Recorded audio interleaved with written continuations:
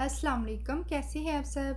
उम्मीद है आप सब खैरियत से होंगे। आज हम मेथी की रोटी को इन इंग्रेडिएंट के साथ बनाएँगे, जो कोलेस्ट्रॉल और शुगर के मरीज़ों के लिए बहुत अफेक्टिबल होगी। और ये सर्दियों के मौसम में हमारे घरों में बनाई जाने वाली एक मोस्ट पॉपुलर डिश है। आइए देखते हैं कि इसको बनाने के लिए हमें किन किन अशिया की ज़रूरत है। मेथी लेकर इसको पकडंडी से तोड़कर इस तरह इसके आगे वाले लीफ ले लेंगे और इसी तरह पार्सले को भी उसकी डंडी से तोड़कर पत्ते ले लेंगे। और इसी तरह हाफ़ कप मैं धनिया ले लूँगी, उसके भी पत्ते तोड़ लेंगे और इन तमाम फ्रेश मेथी के लीफ को पानी से अच्छी तरह धोकर इसको स्टेनर पर रख देंगे। जब इसका पानी ड्रेन हो जाएगा, फिर इसको हम फाइन कट कर लेंगे। आप चाहें तो इसको मोटा मोटा भी कट कर सकते हैं। और इस तरह मैंने लहसुन को क्रश कर लिया।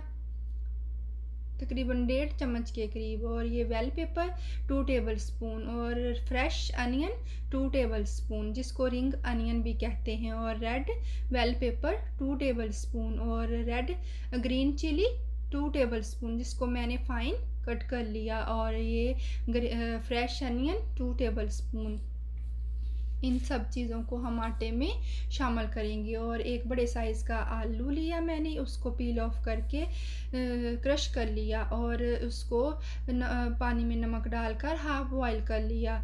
इसको हम हाफ़ बॉयल ही करेंगे और ये क्रश किया हुआ बड़े साइज़ का एक प्याज इसको भी मैंने इस तरीके से ग्रेट कर लिया और नमक हम अपने टेस्ट के अकॉर्डिंग ऐड करेंगे और chaat masala one tablespoon. और ड्राई स्पाइस में मैंने ले लिए पम्पकिन पम्पकिन के सीड पम्पकिन जो बेस्ट कोलेस्ट्रॉल पैदा करता है। और इसी तरह ये पम्पकिन के सीड और अजवाइन हाफ़ टेबल स्पून अजवाइन वन टेबल स्पून पम्पकिन के सीड और हाफ़ टेबल स्पून अजवाइन इसको हम क्रश कर लेंगे। और वालनट वालनट को भी इस तरह फाइन चॉप कर लेंगे। ये भी अच्छा कोलेस्ट्रॉल पैदा करता है और बैड कोलेस्ट्रॉल को रिड्यूस करता है। और वन टेबल स्पून ज़ीरा, जिसको मैंने हल्का सा रोस्ट कर लिया था, और ये क्रश पेपरिका इसको भी थोड़ा सा फ्राई कर लेंगे, हल्का सा भून लेंगे, और ये थोड़ा सा वन पिंच के करीब टाइट्रक एस्ट हम इसमें ऐड करेंगे। अगर आपके पास आमचूर पाउडर है तो उसको ऐड कर दीजिए, और धनिया पाउडर उसको उसका भी वन टेबल स्पून ऐड करेंगे। इन तमाम चीज़ों को हम आटे की डो में शामिल करेंगे और ये वाला टेबल स्पून फाइव एमएल का मैंने लिया है और आटा सिफ्ट करेंगे। अब हम इसमें मैंने एक कप ब्राउन वीट फ्लोर डाला, एक कप मकई का आटा डाला, एक कप बेसन का आटा डाला और हाफ़ हाफ़ कप इसमें जौ और बाजरे का ऐड किया और इन तमाम आटे को मिक्स करके सिफ्ट कर लिया मैंने। अब इसको एक खुले मुँह वाली प्रात में इसको हम ट्रांसफ़र करेंगे और फिर इसकी डोट तैयार करेंगे। पहले इसके ये इंग्रेडिएंट ऐड करेंगे वेजिटेबल डालेंगे, फिर इसी वेजिटेबल के साथ हम इसको मिक्स करेंगे। फर्दर ही इसमें पानी ऐड नहीं कर देंगे, वरना आटे की डो हमारी नरम हो सकती है। पहले हम इन तमाम इंग्रेडिएंट के साथ मिक्स करेंगे ताकि तमाम स्पाइस इसके अंदर अच्छी तरह से विजिबल हो जाएँ।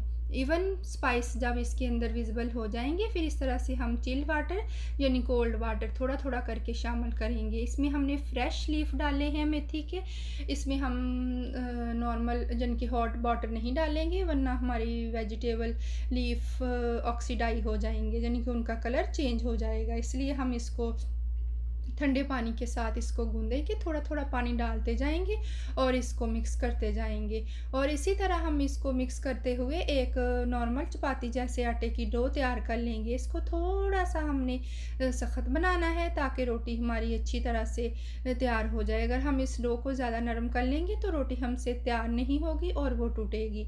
इसीलिए हम इसको थोड़ा सा नॉर्मल आटे की डो से थोड़ा सा हम इसको सख्त रखेंगे और इसको अच्छी तरह से हम हथेलियों के साथ पंच कर करके इसको नीड करेंगे। जितना अच्छा हम अपने आटे को नीड करेंगे, इस, इसकी इतनी ही अच्छी रोटी तैयार करे, होगी। और इसको आप ज़रूर तैयार कीजिएगा और जो डाइट प्लान प्लानिंग करते हैं उनके लिए भी ये बहुत अच्छी रोटी है।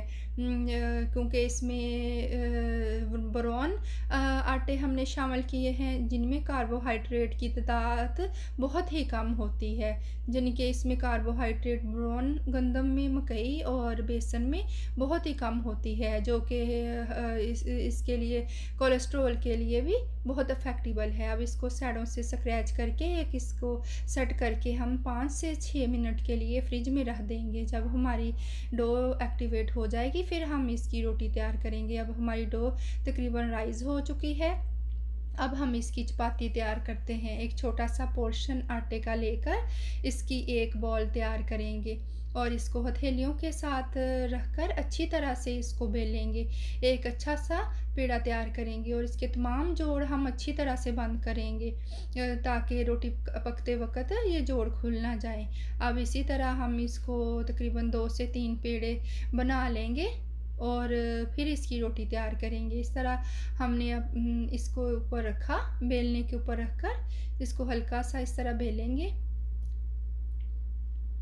इसके एज इवनली होने चाहिए और थोड़ा सा ऊपर ड्राई फ्लोर डस्ट करेंगे, फिर इस तरीके से बेलेंगे। आपने इसके एजिस इवनली बेलने हैं, ना कहीं से एजिस थिन और ना कहीं से थिक हों। और इसी तरह हम दूसरे पेड़ इसको डांप देंगे ताकि इनके ऊपर सिकरी ना आए। अगर हम इसी तरह इसको नंगे छोड़ देंगे तो ऊपर क्रैक आ जाएँगे और हमारी रोटी इतनी अच्छी फ़ाइन तैयार नहीं होगी। और इस तरह मैं इसको गोल शेप दूँगी। हमने अपने हल्के हल्के हाथों के साथ इसको बेलना है ताकि रोटी चिपके ना। और इसी तरह हम इस तरह गोल रोटी तैयार कर लेंगे। और आप चाहें तो कोई भी शेप इसको दे सकते हैं। मैंने दूसरी तरफ़ पैन को गर्म होने के लिए रख दिया था। जब पैन अच्छी तरह से गर्म हो जाएगा तो फिर इसके ऊपर मैंने रोटी इस तरह से अरेंज कर दी थी। अब इसके ऊपर हम ऑयल इस तरह अप्लाई करेंगे। मैंने ऑलिव ऑयल ऑयल लिया है। आप इसमें कोलेस्ट्रॉल फ्री ऑयल भी यूज़ कर सकते हैं या आपके पास कोई भी ऑयल हो या घी या मक्खन का यूज़ भी कर सकते हैं। इसके साथ भी रोटी टेस्टी तैयार होती है। मक्खन और घी के साथ भी अगर हम रोटी तैयार करेंगे तो उसमें बहुत अच्छा टेस्ट आएगा। अब इस तरह स्पैचुल्ला के साथ इसको दबाएँगे ताकि इसके अंदर एक एयर सी आ जाए। और हम इसको चितरी आने तक इसको पकाएँगे। यानी जब इसके ऊपर गोल्डन मार्क अपीयर होने लग जाएँगे तो फिर हम इसको पलटेंगे। अब ये देख सकते हैं थोड़े थोड़े गोल्डन मार्क अपीयर होने शुरू हो गए हैं। और, इस तरह से हमने आँच को मीडियम ही रखना है। और ये रोटी हमारी तैयार हो गई है, आप देख सकते हैं। और इसी तरह हम दूसरी रोटी भी तैयार करेंगे। और इसको हम पकाएँगे और इसके ऊपर मैं हल्का सा बटर अप्लाई करूँगी। बटर के साथ भी रोटी में एक अच्छा टेस्ट आता है और इसको पलटेंगे। ये देखिए अगर हमने इसको हाई फ्लेम पर पकाया तो रोटी में इस तरह का गोल्डन मार्क अपीयर नहीं होगा। जन की रोटी में गोल्डन गोल्डन स्पॉट आ जाए रोटी में ब्लैक स्पॉट्स आ जाएँगे जब हम इसको हाई फ्लेम पर पकाएँगे तो। अब मैंने इसको मीडियम फ्लेम पर ही मैं इसको पका रही हूँ। आप देख सकते हैं कितने ही शानदार से गोल्डन से मार्क अपीयर हो गए हैं। और ये रोटी खाने में भी बहुत मज़ेदार होगी क्योंकि इसमें हमने नट्स डाले हैं और मेथी डाली है और पार्सले और इस तरह हमने पम्पकिन सीड भी डाले हैं जो अच्छा कोलेस्ट्रॉल पैदा करते हैं और बैड कोलेस्ट्रॉल को रिड्यूस करते हैं। ये मल्टीपल रोटी है और ये शुगर और कोलेस्ट्रॉल के पेशेंट के लिए बहुत ही यूज़फुल है और जो डाइट प्लान प्लान करते हैं उनके लिए भी बहुत अच्छी है। इसी तरह हमने इन तमाम रोटी को तैयार कर लिया। आप देख सकते हैं। अब मैं इसको दही के रायते के साथ सर्व करूँगी। मेक श्योर आप इसको ज़रूर ट्राई करेंगे और आप इसको ज़रूर ट्राई कीजिएगा और मुझे अपनी दुआओं में याद रखिएगा। अल्लाह ताला आप लोगों को बहुत ज़्यादा खुश रखे। और अगर आप चाहते हैं कि मेरी लेटेस्ट वीडियो सबसे पहले आप लोगों को देखने को मिले तो आप इस सब्सक्राइब के बटन को प्रेस कीजिएगा। और बेल आइकन को क्लिक कीजिए और थम्स अप कीजिए। थैंक यू अल्लाह हाफि